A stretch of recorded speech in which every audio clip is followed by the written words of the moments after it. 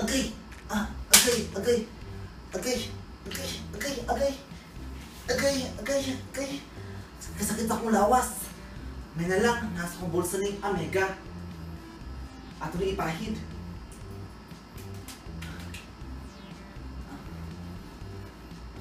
Hala, nawala na sakit sa akong lawas. Salamat sa Amega.